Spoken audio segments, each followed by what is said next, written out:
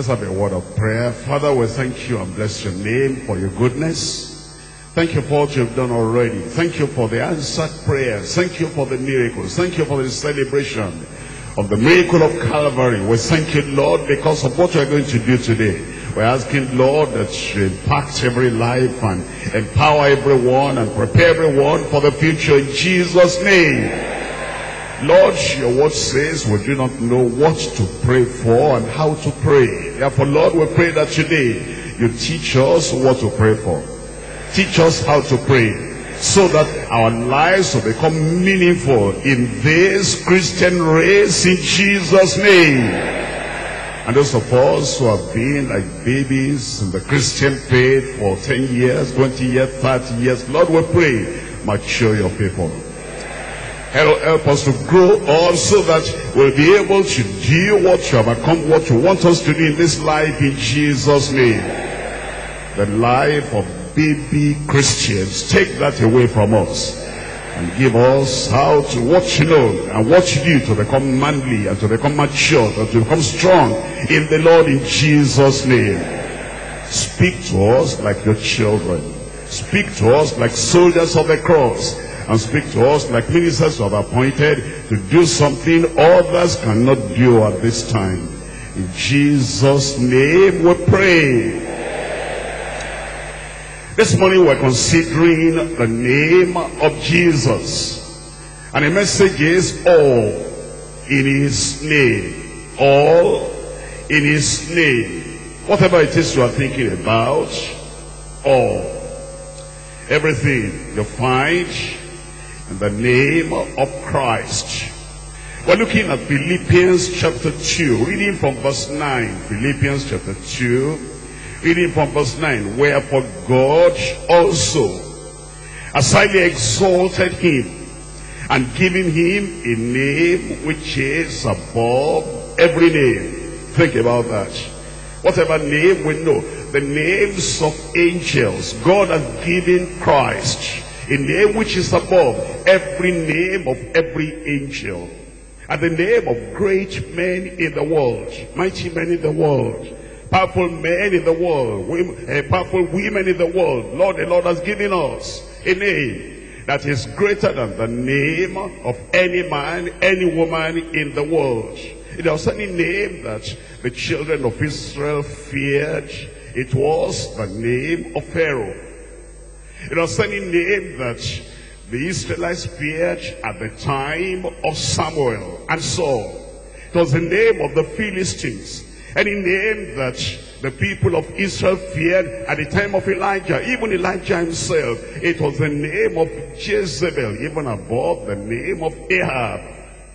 And today, if there's any name of any man, the name of any woman, the name of any personality that you fear, the Lord is saying he has given Christ a name above the name of every personality, no matter who they are, no matter where they are, and he has given us that name. He's given us the name that's above the name of every sickness or disease or deformity. The name of cancer, people fear that. And the name of tuberculosis, people fear that. The name of HIV AIDS, people fear that. And God has given Christ a name that's above the name of every disease and the name of every sickness. And people fear madness, insanity. They fear demons. And the Lord has given us a name above the name of madness, and insanity, and has given us a name that's above the name of every demon and the name of every legion. What a name! The name of Christ. The name we use in prayer, the name we use every day and every time. And we have confidence in the Lord that from this point on, nothing will defeat you in Jesus' name. And it says in verse 10 that at the name of Jesus, every knee shall bow of things in heaven and things in earth and things under the earth. You see that he puts everything together. Things in heaven, even the knees of those glorified saints and holy angels will bow, and things on earth. That is the powers that be. that terrorize men or women. I will not allow you to go the straight route, the direction the Lord wants you to go. It says giving Christ a name above all those names and that those things on earth will bow and things under the earth. Whether you know them or you don't know them, it says the Lord has given Christ such a name that every name will bow to those things above and those things below and those things beneath. In verse 11, that every tongue should confess that Jesus Christ is Lord to the glory of God the Father. That means there, whatever we need, the strength, the power, the ability, the courage, the vision, the revelation, the guidance, anything we need, we have in the name of Jesus. It tells us then in his word, what is salvation we need is in the name. There's no other name given among men whereby you can be saved except the name of Jesus. You need forgiveness. It's giving Christ a name. That through him, forgiveness and peace of mind rest in your soul will come to you.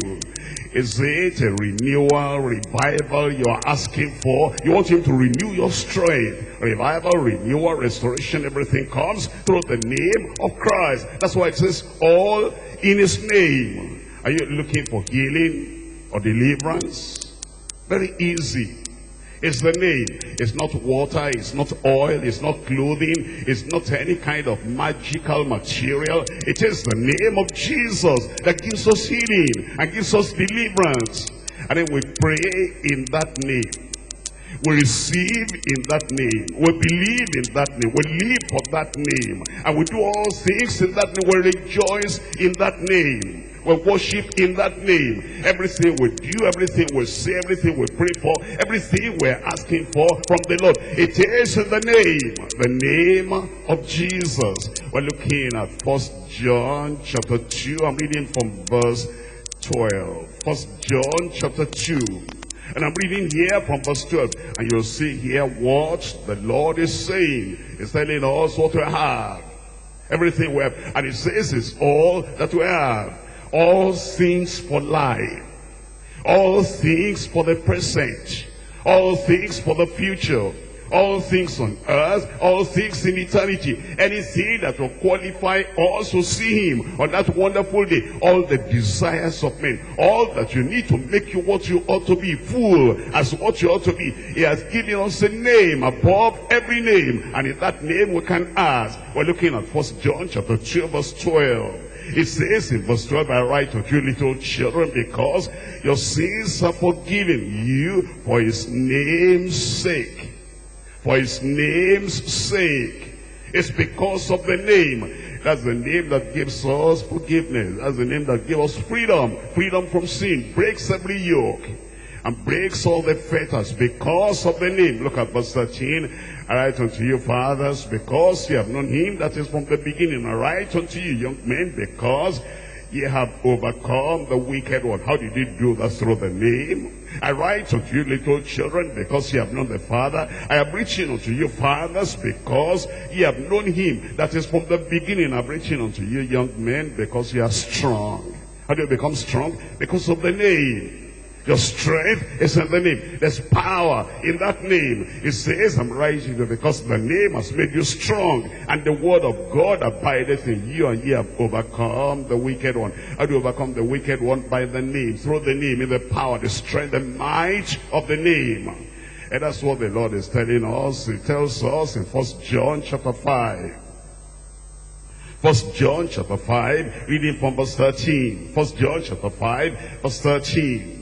It says, these things have I written unto you that believe on the name of the Son of God. It says, I'm writing all this not because you're unbelievers. I'm saying all this not because you're unbelievers. I'm preaching all this not because you're unbelievers. You believe on the name of the Son of God already. It says, these things have I written unto you those of you that already believe on the name of the Son of God. Look at this, that ye may know that ye have eternal life, that you may know what you have. eternal life. Life in eternity, the risen life of Christ. You're reproducing the life of Christ here on earth, eternal life and that ye may believe on the name. You believed already, that you may believe more. Didn't I tell you, there's a moment you come, you believe on the name for salvation. Didn't I tell you there's another moment you come, uh, even though you believed on the name before for salvation, you come now to believe the name for sanctification. Originally, you believe the name for forgiveness. Because you're forgiven for his name's sake. And after believing the name for forgiveness, you come back again and you believe the name for holiness. Originally, you believe the name for restoration. Restore to me the joy of thy salvation. Now you come back again and you believe the name for righteousness, renewal, and revival. It's all in the name. It says, I'm writing to you because I know you believe the name already and you have eternal life. I'm writing that you may believe furthermore on the name of Jesus Christ and have every other thing you still need to have. All in the name. Look at verse 14. And this is the confidence we have in him, that if we ask anything according to his will, he heareth us. He will hear you. In verse 15, and if we know that he hear, he hear us, whatsoever, whatsoever, whatsoever we ask, we know that we have the petition that we desired of him.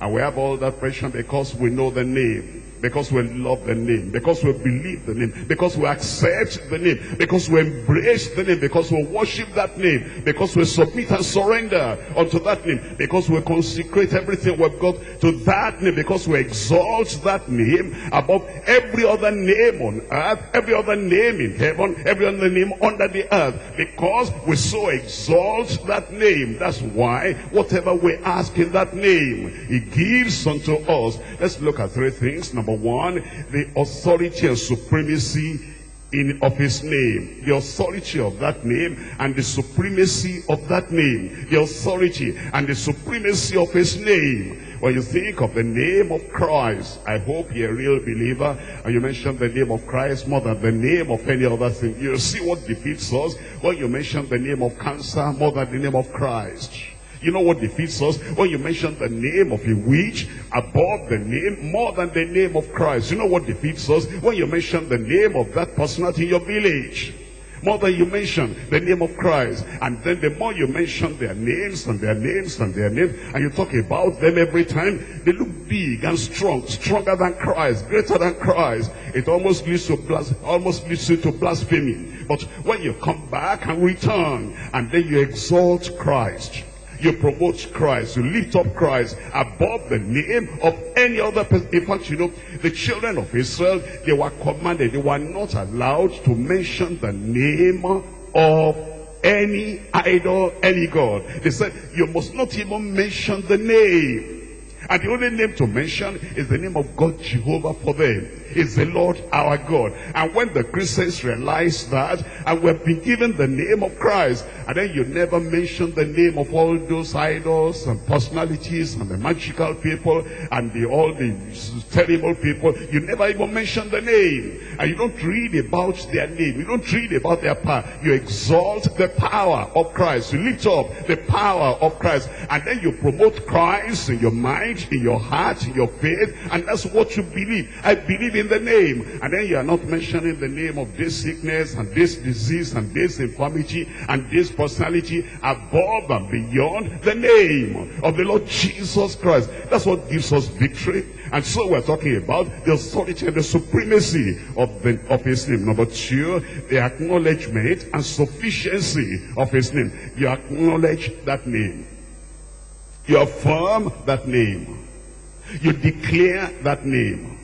You project that name. And then you know there's sufficiency in that name. That your, your victory is not in psychology. Your victory is not in philosophy.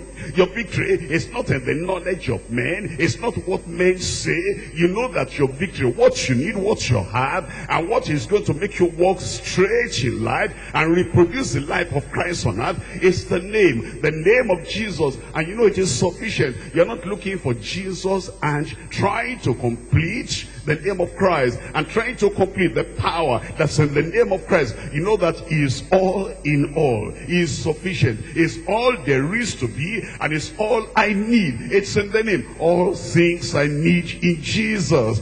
The acknowledgement and the sufficiency of his name. Number three is the assurance and supplication in, the, in his name. The assurance we have when we pray in that name the assurance we have when you supplicate, when you make your prayers, when you intercede. In that name, they acknowledge the assurance and supplication in his name. I'm coming back to number one. That's the authority and the supremacy of his name. Authority and supremacy of his name. By the way, you understand that it's from the Old Testament we begin to learn about Jesus. In, in, uh, in a Genesis is the seed of the woman. And from that point on, Exodus tells us about him. Leviticus tells us about him. Numbers talks about him. The Bible talks about him from the beginning to the very end. I'm just going to show you a few. I'm looking at Psalm two. I'm looking at Psalm two. The authority and the supremacy of his name. The authority and the supremacy of the name of the Lord Jesus Christ. That's what we have. That's who we have. And you're going to have the victory. I said you are going to have the victory. I'm reading from Psalm 2, I'm reading from verse 2, Psalm 2, and I'm reading here from verse 6. It says, Yea, I have set my king upon my holy hill of Zion. I will declare the decree. The Lord has said unto me, Thou art my son. You know, there are people that want to take away from the authority of Christ and they say, eh, God doesn't have any son. Of course, he, said he has. How do you know who God, who God is? How do you know what God has? And who God has? Except he tells you, he says in that verse 7, Thou art my son, this day have I begotten thee. And see the supremacy of that name in verse 6. Ask of me, and I shall give thee the heathen for thine inheritance, and the uttermost parts of the earth for thy possession. What, uh, what authority, what supremacy. I'm looking at Proverbs chapter 30. Proverbs chapter 30. Uh, the Old Testament has you know, spoken so much about the Lord Jesus Christ. And we need to understand that that name is above every name, greater than any other name. I'm reading uh, Proverbs chapter 30 verse 4. Who has ascended up into heaven or descended? Who has gathered the wind in his fist? who has bound the waters in a garment. It's talking of things that look impossible, incredible. And he's saying, who has ascended up to heaven? You cannot tell until Christ came. Who has descended from heaven? You cannot tell that anyone has done that, has gone up, has come down on his own. And then who has gathered the wind in his feet? Who can do that?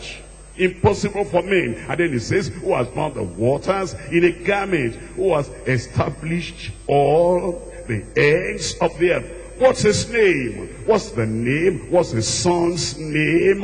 If thou canst tell. You know what the Old Testament is saying? It says God is mighty, he has a son. God is great, he has a son.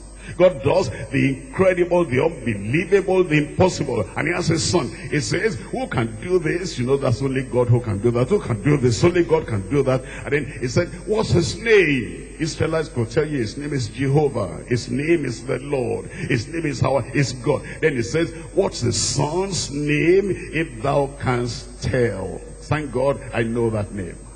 I say, thank God I know that name. I say, thank God I know that name. Do you know that name? It will put you over. Over every trouble, every affliction, every attack, every man, any kind of uh, insinuation and intrigues of the devil. The name will put you over. Let's look at uh, Isaiah chapter 9. Isaiah chapter 9. I'm reading there from verse 6. Isaiah chapter 9. We're looking at verse 6. One to us a child is born. Unto us a son is given, and the government shall be upon his shoulder. We're talking about the authority of that name and the supremacy of that name. And the government shall be upon his shoulder. And then it goes on to say, and his name, and his name, and his name shall be called Wonderful, Counselor, and might, the mighty God, the everlasting Father, the Prince of Peace. You see that? That name has everything in it. That name is sufficient and is supreme, is authoritative. And he said, of the increase of his government and peace, there shall be no end upon the throne of David and upon his kingdom to order it and to establish it with judgment and with justice from henceforth, even forever. The zeal of the Lord of hosts will perform this. He'll do it in your life.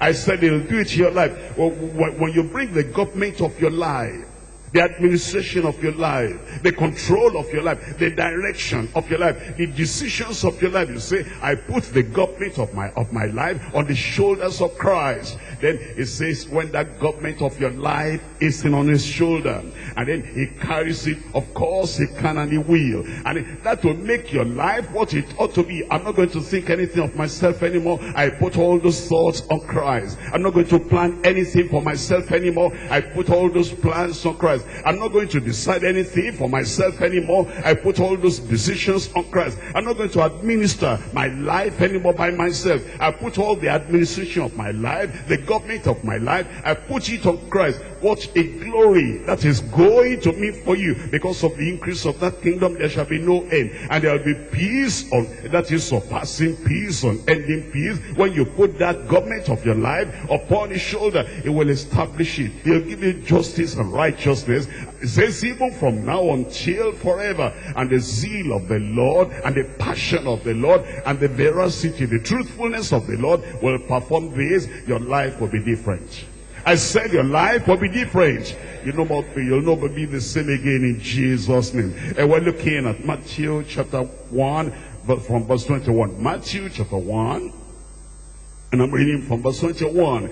The authority of that name and the supremacy of that name. Matthew chapter 1, we're looking at verse 21. Matthew 1, verse 21. And she shall bring forth a son, and thou shalt call his name Jesus, for he shall save his people from their sins. You know, if somebody says, I come to Christ, and then is not saved from sin, I've received Christ, and is not saved from sin, I believe in Christ, and is not saved from sin. He was smoking before, he's still smoking now. He was drinking before, he's still drinking now. And he says, I've come to Christ, he makes Christ cheap. He puts Christ in the mud. He rubs the face of Christ on the mud. He's saying that Christ is the same as all the other palace religionists. Because it's the angel said that you call his name Jesus and the, uh, the uniqueness of that name and the height of that and the supremacy of that name is that anyone that surrenders to that name and gives himself, herself to that name is saved, saved from sin. And if you have really given your life to Christ, there's a power that works in you, the power of the name of Christ. Your sins are forgiven, your sins are cleansed, and it breaks the power of cancel sin. It does that because thou shalt call his name Jesus, for he shall save his people from their sins. It tells us in verse 23 to verse 22. Now all this was done that it might be fulfilled what was spoken of the Lord by the prophet saying, Behold, a virgin shall be with child, and shall bring forth a son, and thou shalt call his name. Tell me. Tell me again. Emmanuel, which being interpreted is God with us. Is as mighty as God the Father. Think of that. It's as powerful as God the Father. Think about that. It's as eternal as God the Father. Think about that. And is authoritative as God the Father. Think about that. He has life in himself as God the Father. This is Emmanuel, God with us. And he has a finality as God Father. He tells us in Luke chapter 1. Luke chapter 1, I'm reading from verse 31 to verse 35. Luke chapter 1. What do you mean from verse 31 all through to verse 35? It says, And behold, thou shalt conceive in thy womb, and bring forth a son, and shall call his name Jesus. Uh, can you say here, there is uh, unity in the word of God. The angel that we read about in Matthew chapter 1 appeared to Joseph The angel we're reading about in Luke appeared to Mary. And the same message. That's how you know a message is coming from God. You know, this one comes, it says it's a prophet, and it says it's coming from God. It tells you one thing. Another one comes, it says a prophet coming from God tells you a different thing, a contradictory thing. What kind of God will that be? But you know, the angel went to went to Joseph in Matthew chapter 1 and told him the name will be Jesus. And then another this angel came now to uh, Mary in came to Mary in Luke, and it's the same name, Jesus. That's how we know when people are of God and not of God. Even the same person, the same person, can you imagine? He tells you something here today, and then another week, another month, he tells you another thing. That's how you know who people are go, somebody goes to Joseph and tells him something, and the same person goes to Mary and tells Mary another. That's how you know who people are. But if the message of Christ is the same, is the same, is the same, that you'll call his name Jesus, and he's mighty and it's wonderful, and will be a Lord, and will be King. Look at this in verse 32. It shall be great, and shall be called the Son of the Highest. And the Lord God shall give unto him the throne of his father David, and he shall reign over the house of, of Jacob forever, and of his kingdom there shall be no end. Exactly what Isaiah had said 700 years before. It goes on in verse 34, it says, then said Mary unto the angel, How shall this be seen? I know not a man. Verse 35, the angel answered and said unto her, The Holy Ghost shall come upon thee, and the power of the highest shall overshadow thee. And that therefore also the holy thing, that holy thing which shall be born of thee, shall be called, tell me, tell me out loud, the Son of God. That's what the angel said. That's what the angel said. Ignorant people say that, you know, uh, something different. But the angel said he'll be Jesus. And that Jesus will be the Son of God. I think if those Pharisees had listened to these angels, they wouldn't have crucified Jesus because he said, I am the Son of God. That's what the angel said. And that's who he was. And that's who he is. He is Jesus. He is the Son of God. He is my and the government shall be upon his shoulder, and the government of your life will be upon his shoulder. I'm looking at uh, Philippians. I'm coming back to that Philippians we read before, just for you to understand the connection between all those verses of scripture to see how authoritative and supreme the name of Jesus is. There is nothing else to believe in. There's nobody else to believe in. It's only Jesus. Only Jesus. The power in that name. The authority in that name. And the goodness, the mercy, the peace, the salvation in that name. It tells us in Philippians chapter 2. Philippians chapter 2 verse 9. Wherefore God also had exalted, highly exalted him. Now, if you say you believe in God, you exalt who God has exalted. See, I believe in God. I believe in God. Only that I don't have anything to do with Jesus. How can that be?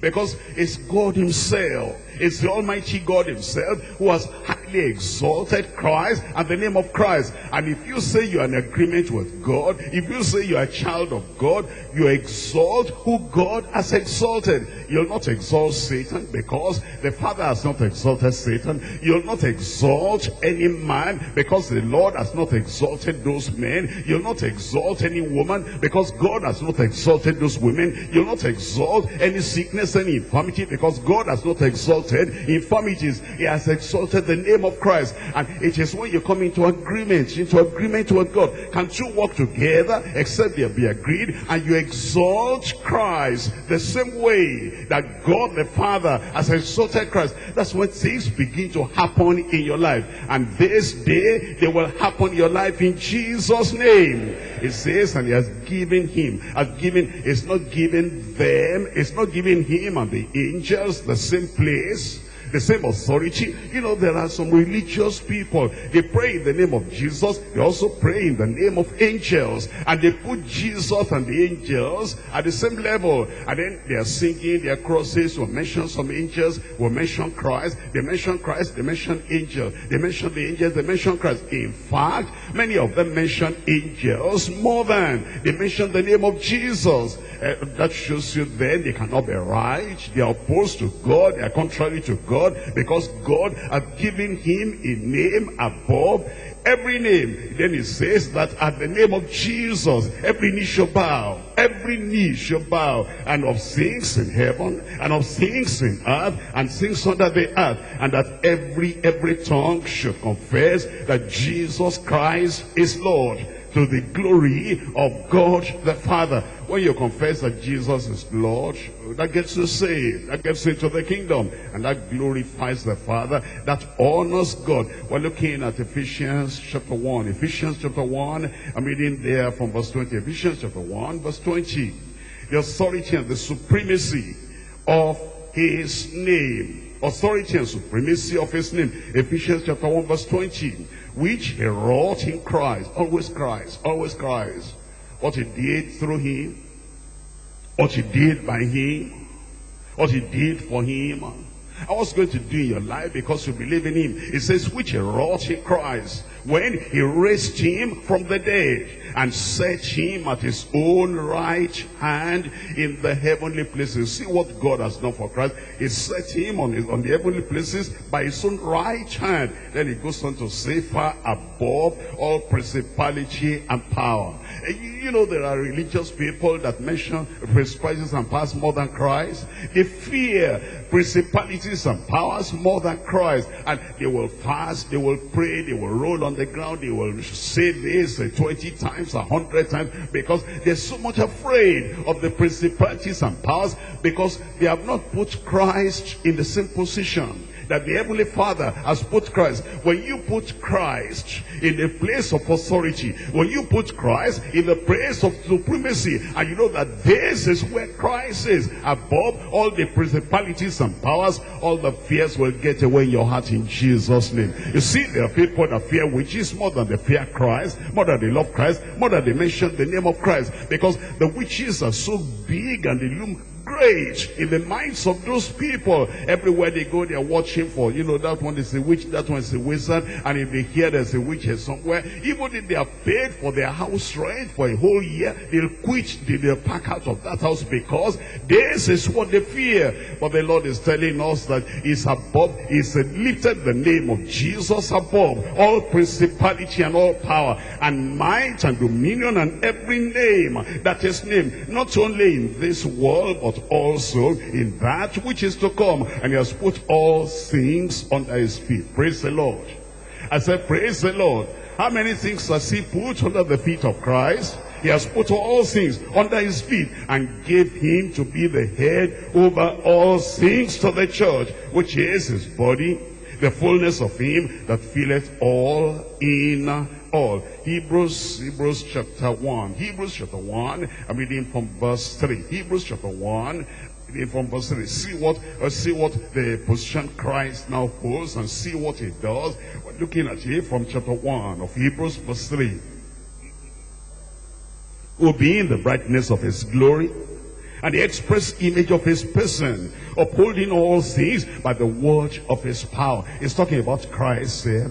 And he's saying that Christ upholds all things by the word of his power when he had himself purged our sins and sat down on the right hand of, of the majesty on high, being made so much better than the angels, being made so much better than the angels, higher than the angels, greater than the angels, wiser than the angels, mightier than the angels, more powerful than the angels, as he has by inheritance obtained a more excellent name than they. He has obtained a more excellent name than they. We're looking at Revelation chapter 1. The authority of that name the supremacy of that name, the greatness of that name, the might in that name, the power in that name. And then the assurance we have in that name that whatever, whatever he commands is final. Whatever he promises, that is final. And whatever he wants to do, that is final. There's no other power that can change or challenge the name of Christ. I'm looking at uh, Revelation chapter 1, and I'm, I'm looking at verse 8. In verse 8 it says, um, Alpha and Omega, the beginning and the end, says the Lord, which is, which was, and which is to come, the Almighty. That's Christ talking, that's Christ talking. He said, I was, I lived there on earth with you, and now I'm now in heaven, and I'm still coming back again. That's the Lord. Look at verse 11, reading from verse 11 about this Christ. And John that saw him now, he saw him in his earthly ministry. And when he saw him, he leaned upon his bosom. But now things are different. Here is Christ. Reading from verse 11, saying, I'm Alpha and Omega, the first and the last.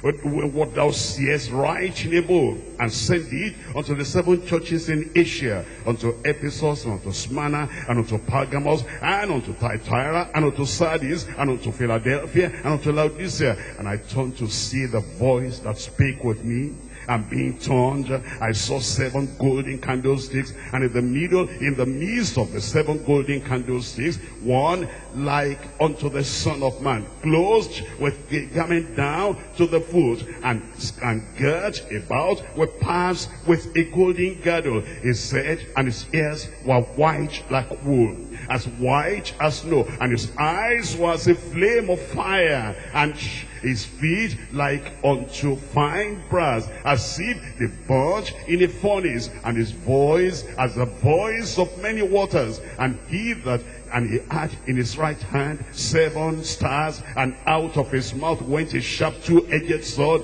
and his countenance was as the sun, shineth in his strength. And when I saw him, I fell at his feet as dead, and he laid his right hand upon me, saying unto me, Fear not, I am the first and the last, I am he that liveth and was dead, and behold, I am alive forevermore. Amen. And as the key of hell and death. That's our Christ. I said that's our Christ. I said that's our Christ. That's our Savior. That's our Lord. And when you have somebody like that and it's going before you, it says, I've conquered death, I've conquered hell, and I've conquered every enemy there is to conquer. And it says, I give you my name. Go in that name. You are going to succeed. You are going to be victorious in Jesus' name. I come to point number two now, the acknowledgement and sufficiency of his name the acknowledgement and sufficiency of his name. Now you have the revelation and you have the illumination. It's clear in your mind, the enlightenment that this Jesus is above every other name, every other personality you can think about. Now with that assurance in your heart, you acknowledge it. You proclaim it you declare it, and you call that name upon any challenge of your life, any problem in your family. You call that name upon any situation in your community. And when you call that name, you acknowledge that name, and you know the sufficiency of that name, that this is all I need. And believe that the problems are solved today. I said those problems are solved today. It said the acknowledgement and sufficiency of his name. Come back to Matthew. Matthew chapter 12 verse 21. You acknowledge that name. You trust in that name. You believe in that name. You embrace that name. You surrender to that name. That's acknowledging the name. You acknowledge the name that that name is supreme and that name is what God the Father has made the name to be. We're looking at Matthew chapter 12 verse 21. Matthew chapter 12 verse 21, it says, And in his name shall the Gentiles trust. And in his name shall the Gentiles trust. Have you sometimes spoken to, you know, some people, you're talking to them about Christ, and say, why don't you come to Christ? Say, hey, hold that. Christianity, hmm, white man's religion. You know, some people, uh, and when they say that, they think they're educated. They think they're enlightened. And they think they're speaking from real knowledge. What is that? Christianity, white man's religion. I'm a black man. Look at this, and his, name shall the Gentiles trust. We are the Gentiles. We are the Gentiles. And here the word of God declares that it's not a white man's religion. It's not a Jewish religion. This is what Christ himself offers the whole world. He gave himself for the whole world. For God so loved the white man Tell me the world that he gave his only begotten son, that whosoever in the whole wide world believeth in him should not perish but have everlasting life. And it says, it's in that name, those who have been chased by all those powers of darkness, in that name, the Gentiles are trust, the Gentiles who are sick, and the Gentiles who are kind of oppressed by all those demonic spirits, all those money powers, all those night spirits, all those Gentiles, they trust in that name. And they, all those Gentiles that have been in the darkness, in the darkness of superstition, in the darkness of idolatry, they come to Jesus Christ and they trust in that name and they abandon all the superstition and they abandon all the idolatry and they abandon all those ideas of the Gentile world that will not see the light of day. It says, in his name shall the Gentiles trust. And then he goes on to say in uh, John chapter 1, John chapter 1 verse 12, John chapter 1 verse 12, this is coming home to you now. This is for you. This is for you. Say, this is for me. Say, this is for me. John chapter 1 verse 12, it says, But as many as received him, to them he gave power to become the sons of God. He gave the Son of God gives power to become sons of God. He's passing part of his nature. He's passing that unto you. He's passing some of his honor. He's passing that to you. What an honor it is when the Son of God says, I want you to be like me. And I'm going to pass on the authority and the power and the virtue unto you that makes you like me. Because as many as received him, he gave them power to become the sons of God, even to them that believe on his name, on his name, on his name. The people that believe on his name, his nature will pass unto you. His might will pass unto you. His character will pass unto you. His strength will pass unto you. And his courage and conviction will pass unto you. Because as many as received him, he gave them power to become the sons of God. Those who believe on his name. Acts of the Apostles chapter 4. Acts of the Apostles chapter 4, I'm reading from verse 10. It says, Be it known unto you all and to all the people of Israel that by the name, by the name, by the name of Jesus Christ of Nazareth, whom ye crucified, whom God raised from the dead, even by him does this man stand here before you whole. And you are going to stand whole today in that name you stand whole. You look at yourself from the top of your head to the, to the bottom of your feet, to the soles of your feet. There's no sickness at all there and there's no stain there and there's no pain there because he makes you whole because you believe in that. The name comes into your heart and affects your soul, affects your mind, affects your brain, affects your body, affects your bone, affects every part of you because it is faith in that name that makes this man, I'm saying this man now in front of me, I said, I'm seeing this man in front of me, and there's woman in front of me that makes you whole and makes you whole today in Jesus' name. In verse 11, this is the stone which was set at naught of you builders, and which is become the hedge of the corner. That's a supremacy right there. Neither is there salvation in any other. Neither is there salvation in any other. You know, all the people, are people that sacrifice for religion, and there's no salvation there. The people that sacrifice for their family religion, their village religion, their tribal religion, and there's no salvation there. And if they die in that condition, they'll go to a place they'll regret forever and ever. Because if, if no matter what you, you may consecrate even your child, we know some religions in the world, they can consecrate their child to an idol, consecrate their child, and they might even what do whatever to that child, and there's no salvation there. And then the Lord is saying, I'm still waiting for you because you cannot find salvation any other place. It says, neither is there salvation in any other, but there is none other name, none other name, none other name under heaven, under heaven, given among men, whereby we must be saved. There's salvation in that name. I said there's salvation in that name. And then he goes on to say in Acts of the Apostles chapter 10 verse 43, Acts of the Apostles chapter 10 verse 43, Acts chapter 10 verse 43, here's what it says, to him give all the prophets witness. Think about that. There's no other person that all the prophets give witnesses to him. Give all the prophets witness that through his name, whosoever believeth in him shall have, shall receive remission of sins, freedom from sin, removal of sin, forgiveness of sin. Is when we believe in that name. And as we believe that name this morning, this day, all your sins are forgiven in Jesus' name. First Corinthians chapter 6, I'm reading from verse, reading from verse uh, 9. First Corinthians chapter 6 and see the cleansing we have in that name, the forgiveness we have in that name, the salvation we have in that, the redemption that we have in that name, the cleansing we have in that name, the victory we have in that name, the authority we have in that name, and see the liberty we have in that name, that all the things that oppressed us, all the things that bugged us down, now that we believe in the name of Jesus, see the glory and see the victory and see the salvation and see the redemption, and all in the name, in the name, the name of the one who died for us on the cross of Calvary, the name of the one who shed his blood, the name of the one that the Father has highly exalted. That if you're looking for salvation, if you're looking for forgiveness, if you're looking for cleansing, look at him, look unto Christ, all ye the ends of the earth, and be ye saved, and be ye forgiven, and be ye redeemed, because there's no salvation in any other this is he, appointed of God, appointed of the Father. And he'll be your Savior, he'll be your Lord, he'll be your sanctifier this morning in Jesus' name. Look at it in First Corinthians. I'm reading from chapter 6 and verse 9. Know ye not that the righteous shall not inherit the kingdom of God?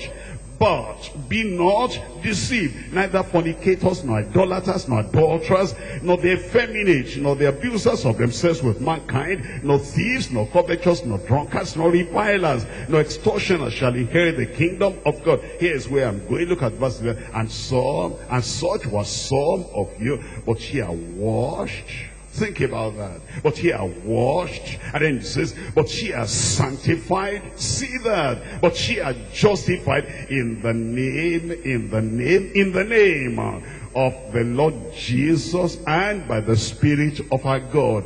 What a wonder, what a wonder, what a great miracle of redemption, a great miracle of salvation. It says, look at what you were and who makes the difference. Not religion, not religion. Religion will never make any difference. It'll just make you fanatical. But you see what Christ does? He turns your life around and he washes you, he cleanses you, he saves you, justifies you, and sanctifies you because of that name, the name of Jesus. That's why the Lord is telling us whatever we need for life and godliness, we have all in the name of Jesus. We're looking at um, Luke chapter 24. Luke chapter 24. I read from verse 47. Luke chapter 24. Verse 47. Here's what the Lord is telling us in Luke chapter 24, verse 47. It says in verse 47, and that repentance and remission of sin should be preached in his name. In his name in his name. Repentance will be preached in his name. In fact, any other thing you preach must be in his name. And remission of sin must be preached in his name. Freedom from sin must be preached in his name. You see, there are people, we're not the only people preaching freedom from sin, but other people preach freedom from sin on the basis of struggling. Do the best you can. Fight the devil.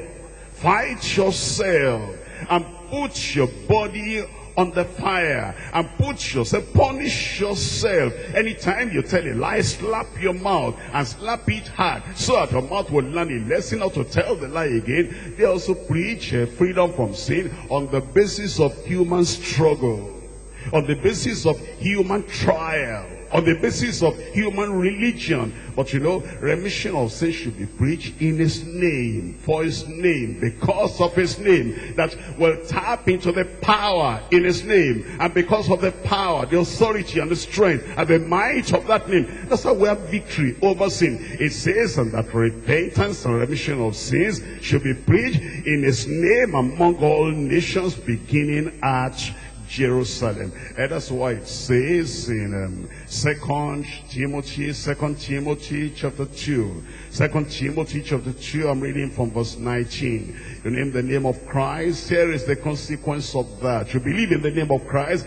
here is the consequence of that. It tells us in Second Timothy chapter 2, verse 19, nevertheless, the foundation of God standeth sure, having this seal, The Lord knoweth them that are his. And let everyone that nameth the name of who? Of Christ depart from iniquity. Let everyone that names the name of Christ depart from iniquity. The name of Christ has power to save you from iniquity. Transform your life and change your life and cleanse you from iniquity. As somebody fell into the well. And then there's a hand coming from above, stretched down to pick him up, to pick her up out of the well. And she is drawing back and drawing lower and lower, deliberately back into the well. Although the hand coming from above the well is able to save him, able to save her from the well. But because she is not departing from the well, she is not having a desire to get out of the well, she's enjoying having pleasure in the well, and she's folding her hand, he's folding her hand, and then sinking down into the well, he'll never be saved. She'll never be saved. But when you know that Christ can save, and then you stretch forth your hand, Lord, I need your salvation, and you depart from iniquity, and then the Lord will do the rest. That's why it says in that chapter 2, and in verse 19, the Lord knows them that are his, and let everyone, everyone, everyone, every boy and every girl, every man and every woman, let everyone that nameth the name of Christ depart from iniquity. Look at verse 21. If a man therefore purge himself from these, it shall be a vessel unto honor, sanctified, and meet for the master's use, and prepared unto every good work. Flee also youthful laws, but follow righteousness and faith and charity and peace, and with them that call on the name of the Lord, on, they call on the Lord out of a pure heart. I pray that you'll do that in Jesus' name. Give me a good amen there. In Colossians chapter 3, verse 16, verse 17. Colossians chapter 3, verse 16, verse 17. Is telling us something significant, important here. Colossians chapter 3, I'm reading from verse 16. At the word of Christ dwelling you richly in all wisdom teaching and admonishing one another in psalms and hymns and spiritual songs and singing with grace in your hearts to the Lord. And whatsoever you do, whatsoever you do, you love people, whatsoever you do, you care for people, whatsoever you do, do you help people whatsoever you do? Do you bind the wounds of people whatsoever you do? Do you forgive people who have offended? That's part of whatsoever you do. Do you comfort other people who are sorrowful? That's whatsoever you do. Do you evangelize? Do you teach? Do you instruct? Do you admonish? That's whatsoever you do. Do you pray? That's whatsoever you do. Do you intercede? That's whatever, whatsoever you do. Do you serve? Do you deny yourself? That's whatsoever you do, you speak, you converse, in your conversation, your communication, whatsoever you do. Look at verse 17. Whatsoever you do in word or deed, do all in the name of the Lord Jesus, giving thanks to God and the Father by him. He's saying that whatsoever we're doing, you love people, do it in the name of Jesus. Do it because of Jesus.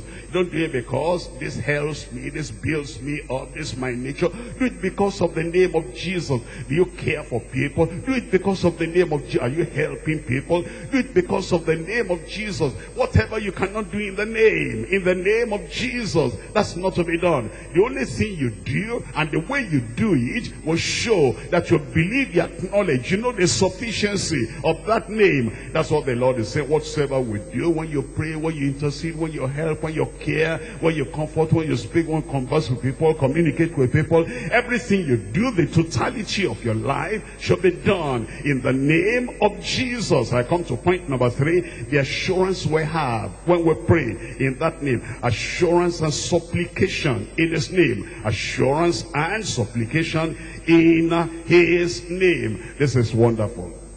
I said this is wonderful. We can pray in that name and God will answer.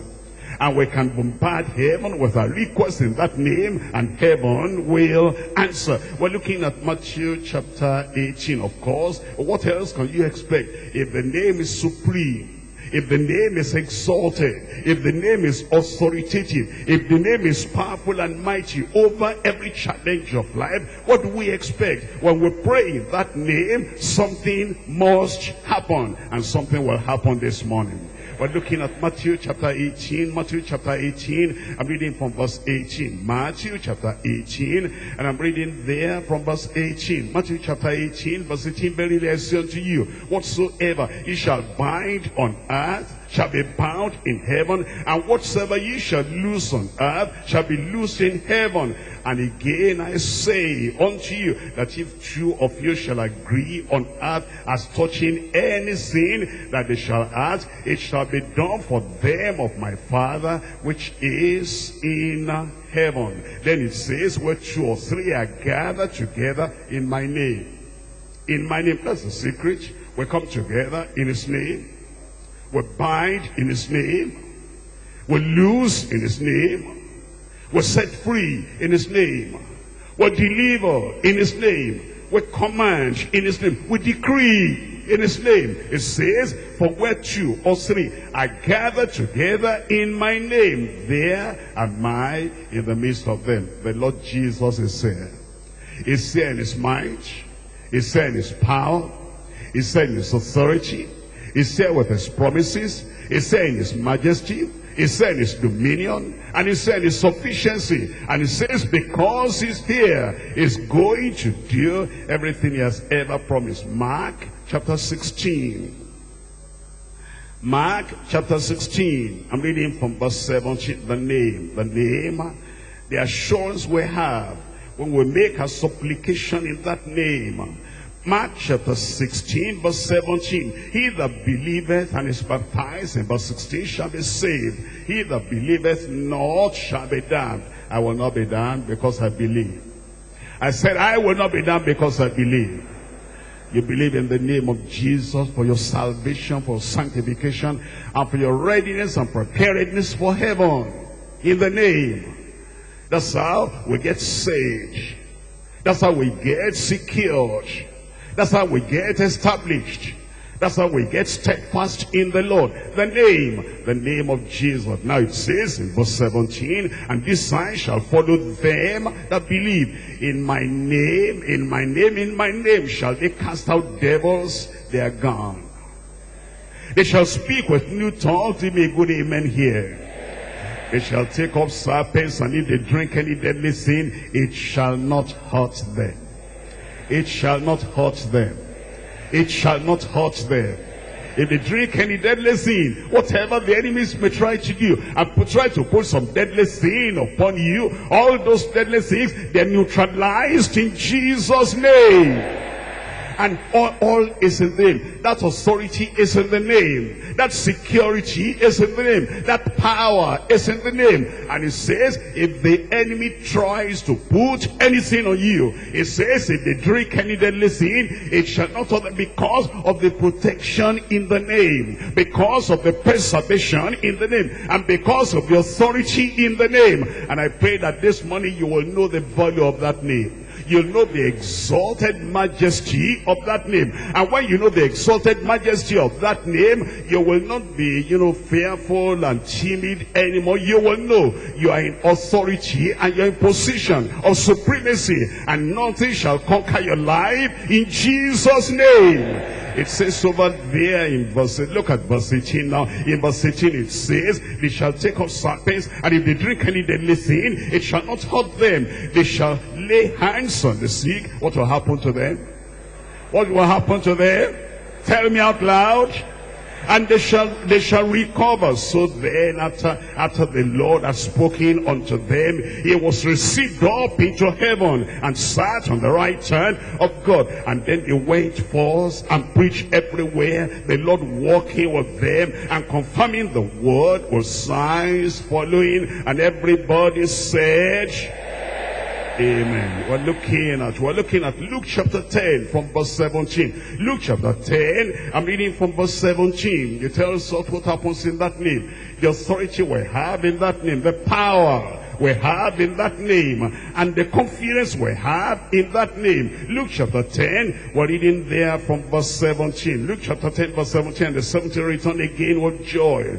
You go back home with joy this celebration we're talking about, you will be a great celebrant in Jesus' name. The 70 return with joy, saying, Lord, even the devils are subject unto us through thy name.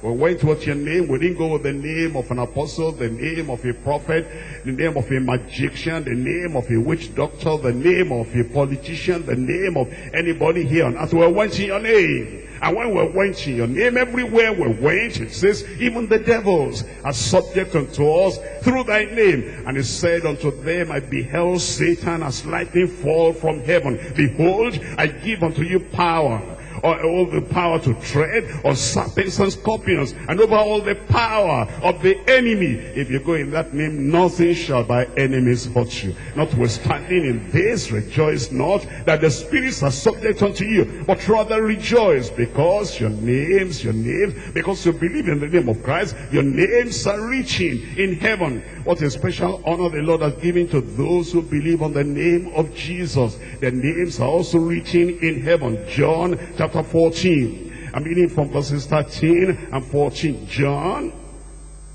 chapter 14, verses 13 and 14. Whatsoever he shall ask in my name. Whatsoever ye shall ask in my name. Whatsoever ye shall ask in my name. It says that I will do. That the Father may be glorified in the Son. That's what gives us confidence. Look at the next verse. It says if ye shall ask anything in my name, I will do it. In verse 13 it says, whatsoever ye ask in my name. Then in verse 14 it says, if ye ask anything in my name. That means that you can ask for salvation in the name because whatsoever ye ask in my name, I will do that. You can ask for transformation, a change of life, total transformation. If any man be in Christ, is a new creature. All things have passed away and all things have become new. That new life, that righteous life, the reproduction of the life of Christ, transformation, whatsoever ye shall ask in my name, I will do it. We can ask for holiness in that name, holiness in the name, because whatsoever ye shall ask, we can ask for sanctification in that name, because whatsoever you shall ask in my name, we can ask for power, the power of the Holy Ghost in that name, the baptism, the indwelling, the infilling, the enveloping of the Holy Ghost power in our lives, because whatsoever you shall ask in my name, it says that I will do. Victory over temptation, we can ask for that in his name. Victory over all the trials, the courage and the strength to stand in persecution, and the courage and the conviction to stand in the challenges of life. I need courage, I need courage, I need conviction. And we can ask for that courage in the name of the Lord, because it says, whatsoever you shall ask in my name. We can ask for healing in that name. Any pain there, any affliction there, any pressure there, any oppression there. We can ask for that healing or deliverance in the name. It's not limited to just one thing, one thing, two things. He says, whatsoever ye shall ask in my name, that I will do. And we can ask for strength. You know, sometimes you are tired and you are weak. You don't know how to then brace up yourself and move on because of all the things facing you. And when you need strength, they that wait upon the Lord shall renew their strength. They'll mount up with wings as eagles. And you can come this morning and say, Lord, all I'm asking for is strength. We can ask for guidance in that name. You're at a crossroads in life. And then you say, where do I go? Is it here or there. Don't stay there confused. You can ask for guidance in that name. Whatsoever you shall ask in my name, you can ask for wisdom. If any man lack wisdom, let him come unto God. He gives him abundantly without rebuking or braiding him. We can ask for wisdom. Whatsoever shall ask. You're in a particular dangerous situation in your community, in your country. And it says you can ask for protection in that name or preservation in that name. We can ask for grace to endure to the end. Because whosoever shall endure to the end, the same shall be saved. And you can come to and say, Lord, if you need healing, ask. If you need deliverance, ask. If you need wisdom, ask. If you need guidance, ask. If you need power of the Holy Ghost, you ask. If you need protection, ask. If you need preservation, ask. If you need strength for the day, you ask. If you need grace to move on without uh, cowering, without drawing back, you can ask the Lord because it says, whatsoever, whatsoever, whatsoever ye shall ask in my name. That I will do, that the Father may be glorified in the Son. If ye ask anything, if ye ask anything, if ye ask anything in my name, I will do it. I'm sure this morning God will answer your prayer. I said God will answer your prayer. Don't make your prayer small. Don't make your prayer limited. Don't make your prayer confined. Make it big. Make it large. Make it enlarged. And say, Lord, this is what I'm asking. And I come on the basis of what you have said. Whatsoever you're asking my name, I will do it. Anything, anything. Rise up and ask the Lord. Rise up and ask the Lord. He has given you that blank check, that open check. And he has said, whatsoever. Don't you need wisdom whatsoever? Don't you need guidance whatsoever? Don't you need courage whatsoever? Don't you need strength whatsoever? Don't you need healing whatsoever? Don't you need deliverance whatsoever? Don't you need sanctification whatsoever? Don't you need holiness whatsoever? Don't you need revival in your soul whatsoever? Don't you need the power of the Holy Ghost whatsoever? Don't you need gifts of the Spirit whatsoever? Whatsoever you shall ask in my name. Whatsoever you shall ask in my name. Whatsoever, whatsoever, whatsoever you shall ask in my name. That I will do. That I will do. That name of Jesus is exalted. That name of Jesus is honored. That name of Jesus is exalted above every other name. And you can come to the Lord and ask. You can come to the Lord and ask. Open your mouth and tell the Lord. And we're asking with confidence. We're not asking the name of an angel. In the name of a preacher. In the name of a religious founder. We're asking in the name of Jesus Christ. The name above every name. The name he has given to us. You need wisdom. You need guidance. You need protection. You need preservation. You need some authority. You need some strength. You need some power. You need some stability. You need some courage. I need the stamina to stand in temptation. Whatsoever. Whatsoever. Whatsoever. Healing. Whatsoever. Freedom. To be set free from captivity. Whatsoever. Whatsoever we ask in that name. Courage. Inner courage. Inner strength. Whatsoever we ask in that name. That's what you will do.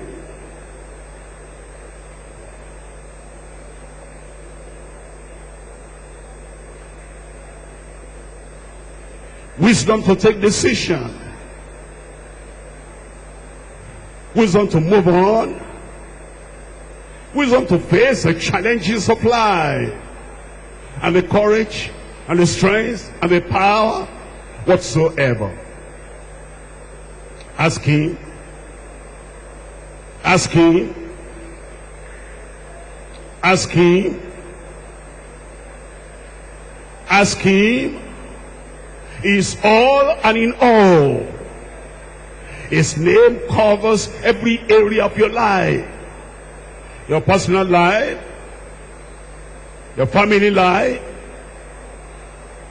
your Christian life, your ministerial life, your professional life, whatsoever, whatsoever.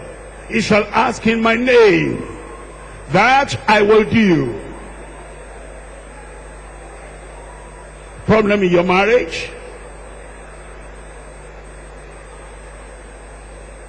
problem in your family, problem in your profession, whatsoever, whatsoever, whatsoever, strength, stamina, courage and conviction, whatsoever, whatsoever you shall ask in my name, there's no reason to be weak anymore. There's no reason to be fearful anymore. There's no reason to be frightened anymore. There's no reason to feel empty anymore.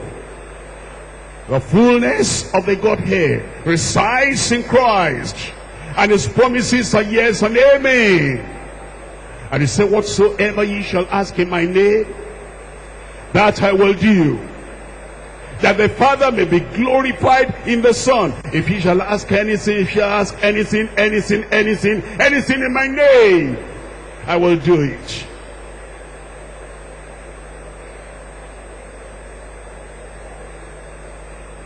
Healing is good. After healing, what else are you asking for? Deliverance is wonderful. After deliverance, what are you asking for? Salvation is great. Wonderful. After salvation, what else? Holiness there. Sanctification there. Holiness is great and wonderful. After holiness, what else? The baptism in the Holy Ghost. Power of the Holy Ghost. The indwelling of the Holy Ghost in your life. With the supernatural signs following. Whatsoever, whatsoever, whatsoever, whatsoever. He shall ask in that name. That's the name above every name. Name above every name. And you can ask. The Heavenly Father has committed himself to giving you the answer that whatsoever you ask in the name, that he will do. That he will do. That he will do. There's strength in that name. There's power in that name. There's authority in that name. There's grace in that name. There's strength to stand in that name.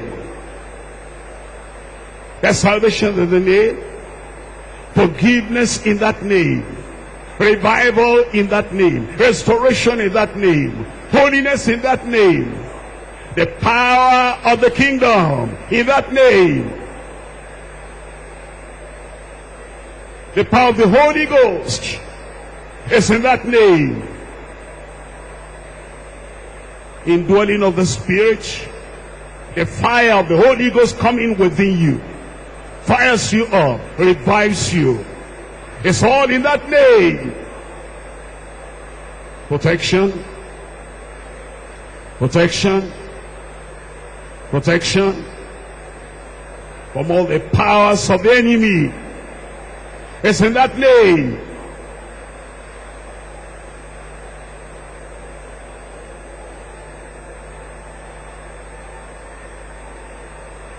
Ask in the name. Ask in the name. Ask in the name. In the name of Jesus. In the name of Jesus. In that name, every knee shall bow. In that, name, in that name, all enemies are conquered. In that name, the backbone of Satan is broken. In that name, madness will leave you. Insanity will leave you. Cancer will leave your body. HIV, AIDS will leave your body. In that name, fear will leave your heart. Trembling will leave your soul. In that name, courage will come in. In that name, power and authority will come in. It's all in the name. It's all in the name.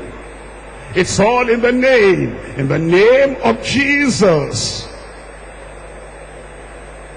Ask him. Ask the Father in the name. Ask the Father in the name. Whatsoever.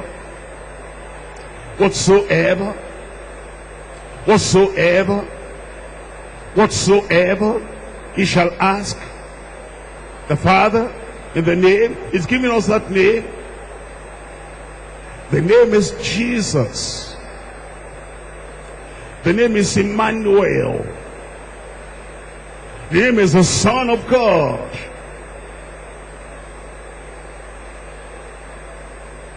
The power of God in man. Asking. Ask believing. Ask with assurance.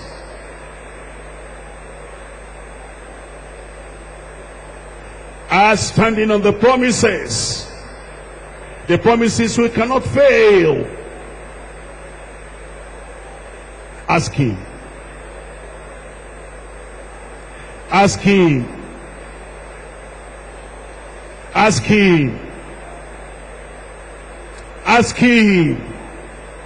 He's doing it right now. He cannot fail. That name cannot fail. That name will never fail. Put the government of your life upon his shoulder. Put the government of your life, the control of your life, the direction of your life, the administration of your life, the plan of your life. Put it on his shoulder. Then you'll be sure of victory, of success, of accomplishment, of power, of ability, ability to pull through, ability to overcome.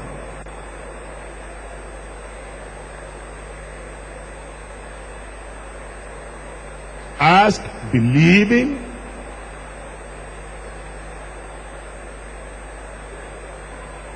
Everything is in the name. Everything is in the name.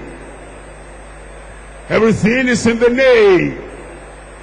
And the moment you ask him that name, it's done, it's done, it's done.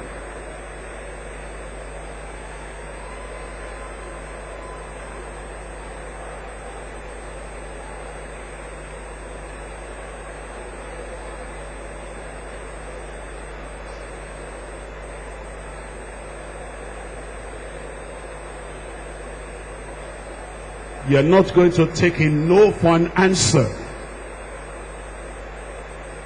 You're not going to take a no for an answer. You're not going to take a no for an answer. You're not going to take a no for an answer.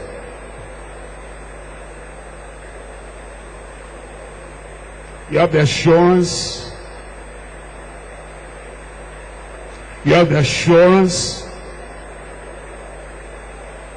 You have the assurance that whatsoever you ask in that name, that anything you ask in that name, that's done. You have the assurance. Heaven affirms it. Heaven confirms it. God affirms it. God confirms it. That everything you ask, that everything you ask, in the name, in the name, in the name of Jesus, that's done. Anytime, every time, anywhere, everywhere, by anyone, everyone.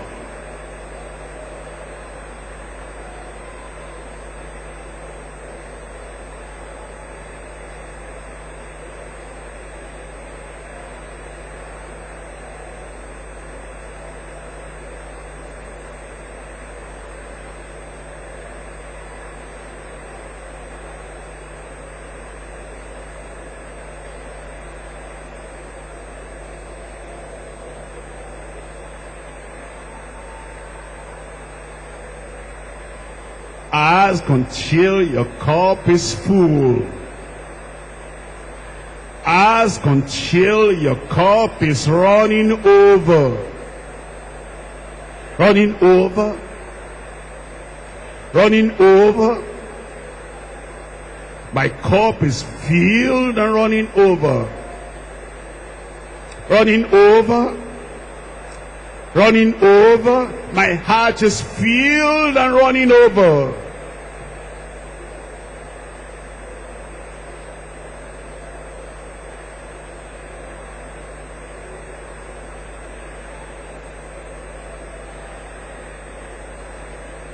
And have the assurance, have the assurance,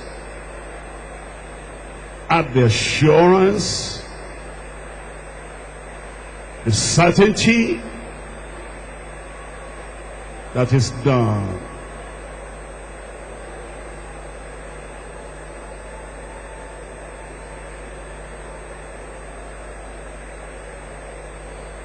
In Jesus' name we pray. Anything we ask for in Jesus' name is done already. Everything you have asked for in the name of Jesus is done already. What else do you do? I said, what else do you do? I said, what else do you do? What else do you do? You're saved. You are healed. You are delivered. You are strengthened. You are promoted. You are lifted up. You are energized. You are unconquerable. The spirit of the conqueror is now inside you. You'll tread on serpents. You'll tread on scorpions. The devil is no more on your head. The devil is no more at your back. The devil is under your feet. I said the devil is under your feet. I said the devil is under your feet. If the devil is under your feet, what do you do with your feet? I said if the devil is under your feet, what do you do with your feet? Match him. Match. You're victorious in Jesus' name. And the ears of the devil are in between my hands.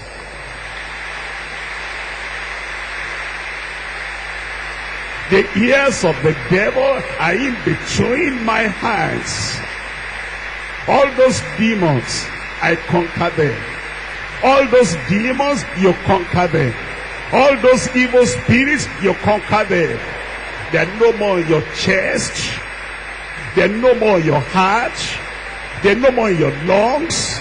They're no more in your kidney. They're no more in your brain. They're no more in your bone. You're free. You're free. You're free. Where is a free man? Where is a free woman? Praise the Lord, you're free. Heaven declares your freedom. God declares your freedom. Nothing will bind you anymore. All those challenges your family, they are gone. All the tears, they are wiped away. Your joy, nobody will ever take from you. This retreat, the celebration in this retreat is inside your heart.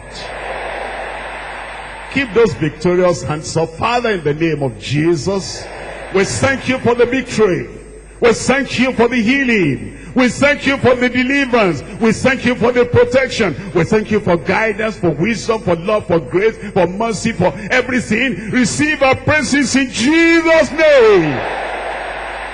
I declare every brother here, every sister here, every boy, every girl, I declare everyone victorious in Jesus' name all the volume of prayer that ascended to the throne of God, prayed in the name of Jesus this morning, every sin without exception is answered in Jesus' name. Victory in your soul, victory in your spirit, healing in your body, deliverance in your home, prosperity in your business, and the joy of the Lord will multiply your life in Jesus' name. You will never lack. You will never fall. The strength of the Lord will go through with you in Jesus' name. All your prayers are answered.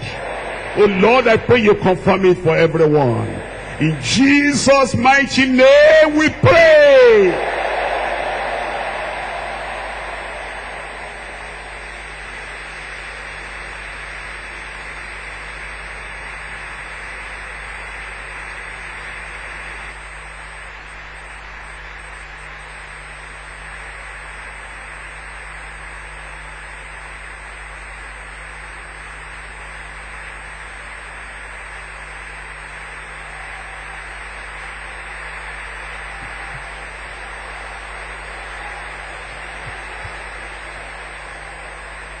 Wonderful. Wonderful. Wonderful. Wonderful.